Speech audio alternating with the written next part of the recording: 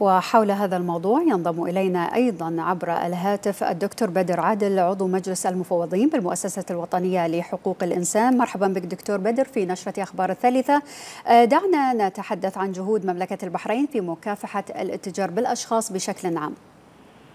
بسم الله الرحمن الرحيم. السلام عليكم. يمسيك بالخير أستاذ هيا وعلى جميع المشاهدين والمستمعين. بداية أحب أوضح أن جريمة الإتجار في البشر هي من الجرائم ذات الأبعاد الخطيرة التي تؤرق الضمير العالمي باعتبارها شكل من أشكال الرق المعاصر وكونها تستهدف فئة من البشر أجبرتهم ظروف معينة على أن يكونوا في مركز ضعيف. طبعا أستاذ القانون الدولي هذا حد القانون الدولي لحقوق الإنسان بالتصدي لهذه الجريمة بكل حزم. عبر الكثير من الصكوك التي انضمت إليها مملكة البحرين منها على سبيل المثال لا الحصر الاتفاقية الخاصة بالرق والاتفاقية التكميلية لإبطال الرق وتجارة الرقيق والأعراف والممارسات الشبيهة واتفاقية أيضا لمكافحه الجريمة المنظمة عبر الوطنية فضلا عن البروتوكولات المكملة لها.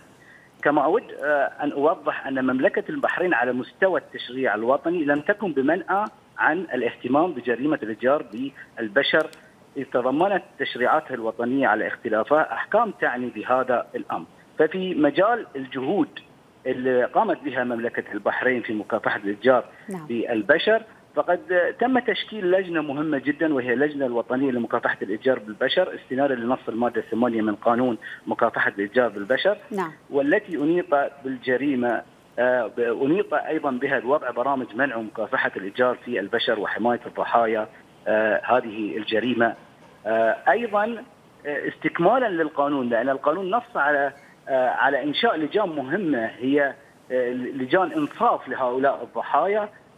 كما أشرت أيضا عندي عندي قانون الإتجار بالبشر نص على لجنة تقييم وضعية الضحايا الأجانب للإتجار بالبشر والتي من مهمها أن هي تقوم ب إزالة ما قد يعترض المجني عليه المجني عليه الأجنبي من معوقات تحول دون الحصول على عمل أو إذا تبين انه بحاجة إلى عمل بالتنسيق مع وزارة الداخلية.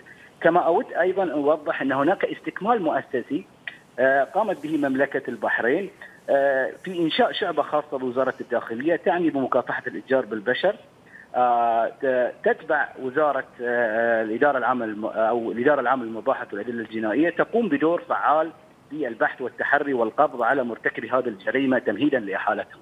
وأخيرا أحب أوضح إن حكومة مملكة البحرين في إطار توفير الحماية اللازمة لضحايا الاتجار بالبشر وفرت مراكز إيواء لضحايا الجريمة منها تخصيص دار الأمان وهو دار الأمان ليتسع لإيواء 126 حالة من النساء وأولادهم نعم. ودار الكرامة للرعاية الاجتماعية المعني بإيواء المتسولين والمتشردين نعم. ومركز حماية الطفل المعني بحماية ضحايا الإتجار في البشر في البشر من للأطفال طبعا هذه كلها شبكة كبيرة تقوم على حماية هؤلاء الضحايا نعم.